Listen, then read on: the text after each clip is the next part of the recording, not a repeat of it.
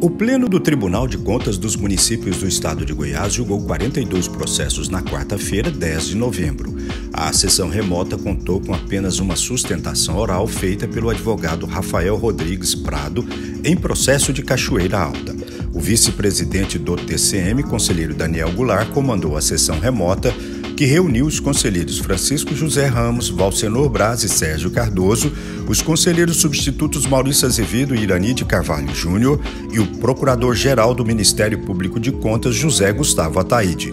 A sessão foi transmitida pelo canal do Tribunal no YouTube, onde pode ser revista a qualquer momento.